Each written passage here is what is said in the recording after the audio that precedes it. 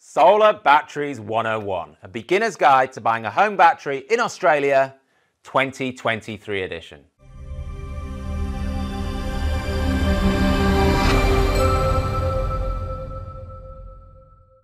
This guide, updated annually, covers 10 key points that will teach you how to buy a battery for your home with confidence. I'm Finn Peacock, a chartered electrical engineer who founded Solar Quotes way back in 2009. It's my mission to give you no BS, independent, technically accurate advice about solar and batteries. Let's get to it. Point number one Is a battery right for you? When people ask me if solar is worth it, my honest answer is hell yes, unless they have a heavily shaded roof. But when it comes to batteries, it's not as straightforward. If you want a battery, it will be for one or more of these five reasons. Reason 1 Blackout protection. Wild weather is getting more common. In breaking news, an intense storm cell is sweeping across the cities. One in a hundred year events seem to be happening every year, and Australians are losing power more often. Properly designed and installed solar and batteries are a great way to protect your family from blackouts. And I gotta say, it's a pretty cool feeling to have your lights on and beers cold while the rest of your street is in the dark. Reason number two, the environment. A few years ago, I would have told you that adding solar to your roof was much better for the environment than adding a battery. But that's changed recently. Australia is winning at solar. We've got so much that at times there is more solar than the grid can handle. At other times, the grid is crying out for cheap, clean energy. The biggest challenge we have to getting a fully renewable grid is getting through the evening demand peak as the sun sets and everyone gets home and switches everything on. A battery takes some of your daytime solar and uses it to reduce this peak demand, helping us to get to 100% renewables on the grid. So while we still need to add more solar to help get us through winter and crappy weather, pairing that solar with a battery will give it the most bang for environmental buck. Reason number three, economics. Being honest about the economics of batteries leads people to accuse me of being anti-battery. On the contrary, I love batteries. I have one on my own home. I simply don't like how some dishonest companies sell them. Their savings are often wildly exaggerated and miscalculated, and often sold as a magic bullet without proper consideration of the solar, battery, and tariff combination that will give you the maximum savings. Here are some ballpark numbers. A typical home battery on a standard tariff with enough solar to charge it reliably through winter will save between about $500 and $850 per year. If you are forced to be on a time of use tariff, the savings can be from about 600 to $1,000 a year.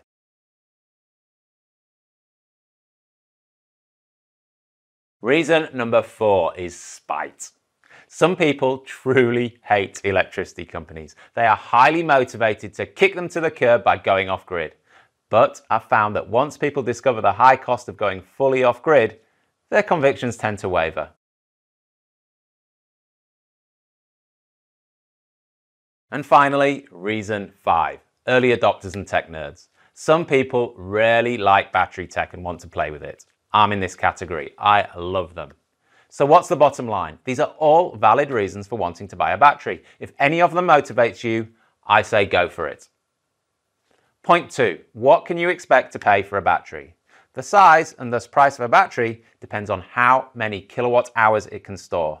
As with solar panels, economies of scale kick in the larger the battery, but the effect is smaller. My solar battery storage comparison table, linked in the description, shows approximate prices for many batteries available in Australia, but the prices listed do not include installation costs. Speaking broadly, here are some prices I'd consider reasonable. 5 kilowatt hours of storage, 7,000 to $9,000 installed. 10 kilowatt hours of storage, 11,000 to 14,000 installed. 15 kilowatt hours of storage, 15,000 to $18,000 installed. If you want to install the famous Tesla Powerwall battery, you'll get 13 kilowatt hours of storage and backup, and it will cost about $20,000 unsubsidized installed on your home. It's a great unit if you can afford it.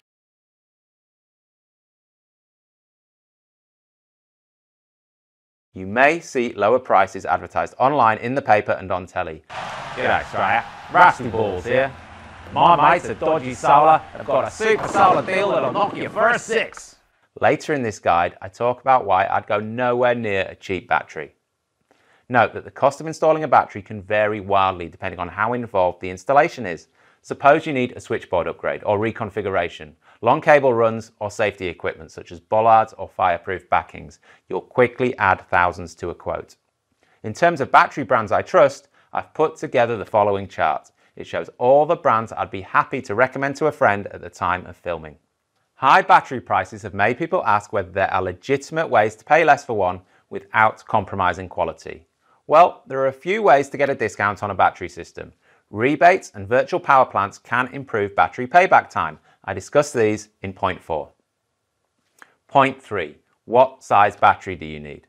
The amount of storage you need to buy in kilowatt hours depends on your nighttime energy use. The typical Australian home uses 16 to 20 kilowatt hours over 24 hours. Over 60% of this electricity usage is between sunset and sunrise for a 9 to 5 household.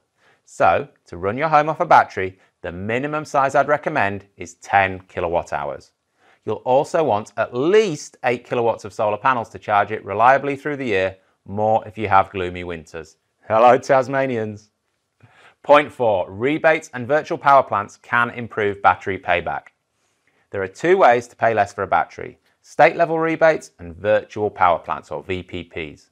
For rebates at the time of filming, unlike for solar power, there is no federal battery rebate. Sorry.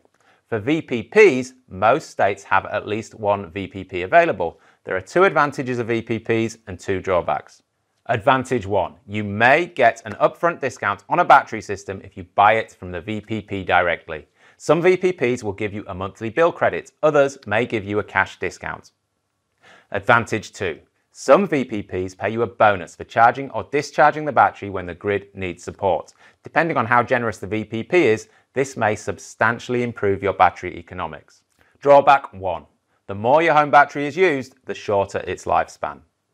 Drawback number two, because stored energy is usually most valuable in the evening peak, VPP operators may force your battery to charge from the grid in the mid-afternoon, discharging into the grid shortly after sundown, leaving you with little or no energy storage to get you through the night. There is an alternative to VPPs where you can keep control of your battery. You can sign up for an electricity retailer that passes through the, at times, wildly fluctuating wholesale price of electricity. An example retailer is Amber, with a battery, you can try and avoid paying for electricity when prices are sky high and sell your battery energy at those high prices instead. In a volatile market like we've had in Australia recently, this can be lucrative. I know of solar and battery owners that have made a couple of thousand bucks in the past 12 months. But playing this game comes with a big caveat past profits and no indication of future profits. In my opinion, this is a game for advanced players only, and it is impossible to predict your savings or losses, so buyer beware. Point five, common techniques of dodgy battery salesmen. Many honest companies ethically sell batteries. They take the time to run you through the pros, cons, and economics. But as with any new bill reducing technology, they also attract bad salespeople. They see an opportunity to cash in on consumer confusion, promise the world, and bag a hefty commission. Here are the go to tactics of dodgy battery salesmen. Technique number one promising $0 bills with small batteries and small solar. Smooth talking battery salesmen promising $0 electric bills are all too common. With enough solar and a big enough battery, anyone's bill can go to zero. Often, hard selling salespeople don't even sell a big enough battery system to get a homeowner's bills to zero, or even care if the owner has enough solar capacity to charge it throughout the year. Instead, they sell a small, sub 6 kilowatt hour battery with a fat commission. Technique number two bait and switch, a classic tactic is to quote cheap and then on installation day, they'll demand thousands more to finish the installation. Technique number three, false scarcity. It's common to get a letterbox drop inviting you to join a closed group battery test offering home energy at a substantial discount. And wouldn't you know it, there are only a few places left, so you need to get in quick. My advice here is simple. If something sounds too good to be true, it usually is. Point six, battery backup. Know what you should be asking for. If you're buying a battery, make the most of it. Ensure it's installed and configured to back up some or all of your home. It sounds surprising, but backup is not a given when buying a battery. You need to make sure you specifically ask the installer for it. You should seriously consider whether you need whole house backup or only some essential circuits like fridge, lights, TV. Also, take the time to learn how much power those essential appliances use and how long they can run for before draining your battery. If your battery is wired to back up your whole home, here's what can happen. You don't even notice the power has been cut. You carry on using your heating, cooling, hot water, oven, pool pump as usual. Your battery either overloads on power demand or runs out of energy within a few hours. You're as blacked out as the rest of the street. My battery backs up the lights, kitchen, except oven, and air conditioner in my house. If I have a power cut, it's obvious, and I know to use my electricity carefully, especially the air conditioner. What I consider to be gold standard in battery backup is when your solar panels will charge your battery even if the grid goes down. I call this apocalypse proof backup. Say this to your installer I want my batteries to charge from my solar panels when the grid is down. This might not be possible in rare cases if you have a tricky install. Your installer will talk you through your options. Point seven thermal runaway, also known as why you shouldn't buy a cheap battery. Because batteries are expensive, people always want to find cheaper options. After all, they're all the same, right? Wrong. Lithium based batteries can store large amounts of energy. When they charge and discharge, they generate heat. If charging and discharging are not managed correctly or there is an electrical fault, thermal runaway can occur. Thermal runaway is a fancy way of saying a big ass fire. With the amount of energy stored in lithium batteries, they can burn for hours. There are two common types of lithium battery. Confusingly, they are both lithium ion batteries, but the two types are more specifically NMC and LFP. NMC catches fire more easily and will burn for longer than LFP, but be wary of any salesperson that tells you their lithium battery can't catch fire. They can, and complacency is dangerous. Now, different manufacturers have different ways of avoiding thermal runaway. Properly configured battery management software requires properly funded research and development teams. Many big names have also invested in hardware safety features as a final line of defense. For me, this is deadly serious. Cheap batteries installed for peanuts worry the hell out of me. Don't gamble with your safety to save money on a battery. If you can't afford a decent brand, don't buy one. Point eight, batteries degrade faster than solar panels. Solar panels have 25 year performance warranties. This warranty states they won't degrade more than a certain amount per year. Most batteries have 10 year warranties. Only a few have warranties longer than this, and they tend to be more expensive. The typical budget solar panel will degrade by about 0.5% per year over a 25 year period. The typical battery will degrade by 3% per year or more.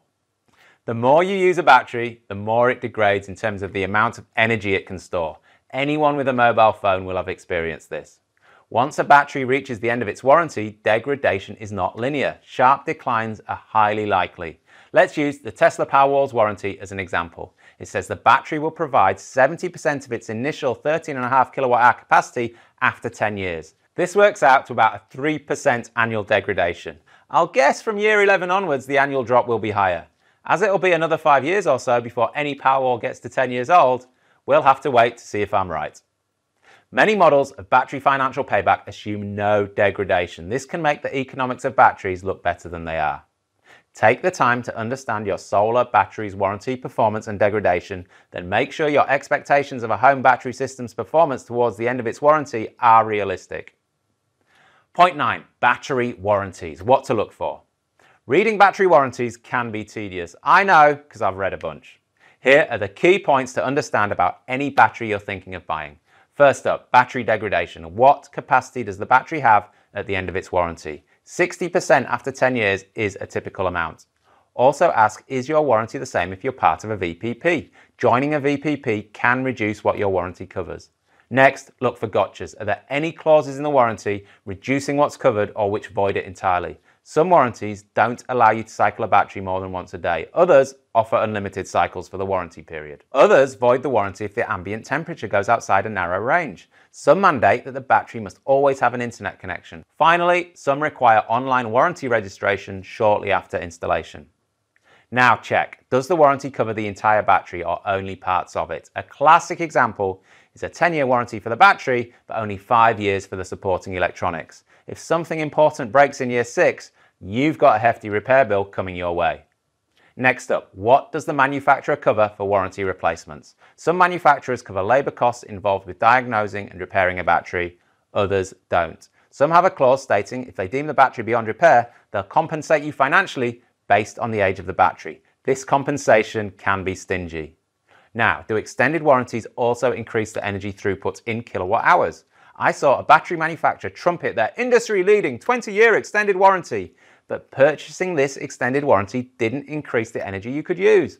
All it did was give you an extra 10 years to use it. Lucky last, who's backing the warranty? This is a big one. Ideally, a battery brand would have an established Australian office, meaning they can't pack up and slink home to wherever to shirk their responsibilities. Many companies have started to import and sell batteries from overseas. There's nothing wrong with this, but ask yourself, how likely is it a small importer will be operating in 10 years?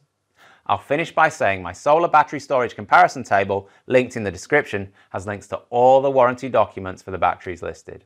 Point 10. What to consider for an optimal installation. Firstly, where is the battery going to go? Battery standards are strict on where they can be installed. For example, you're not allowed to install a battery under stairs or access walkways, in a roof or wall cavities, or in a habitable room.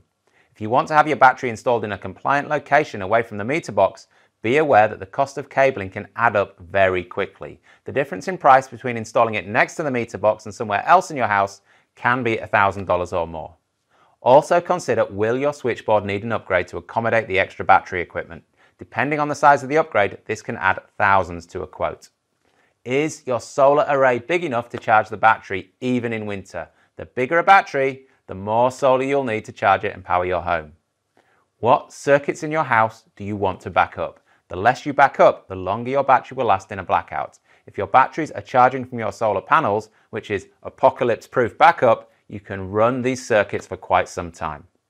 Finally, are you planning on installing your battery in a garage? then you'll need bollards installed for safety reasons. You don't want to be crashing your car into that battery. I'll just take a moment to say that I've been running the website Solar Quotes for the last 14 years. In that time, I've built up a great network of pre-vetted installers that can give you quotes for solar and batteries for your home. Just visit my website, solarquotes.com.au, pop your postcode into the top right box, fill in the form, and I'll do my absolute best to match you with up to three installers I trust in your area. Thanks for watching.